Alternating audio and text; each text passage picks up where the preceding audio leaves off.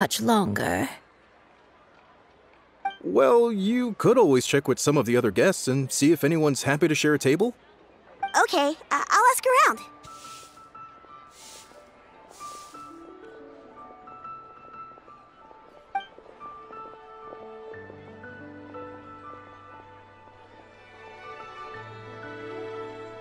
Excuse me. Would you mind letting us share a table with you? There are no empty tables left, so... Paimon doesn't mind. What about you guys?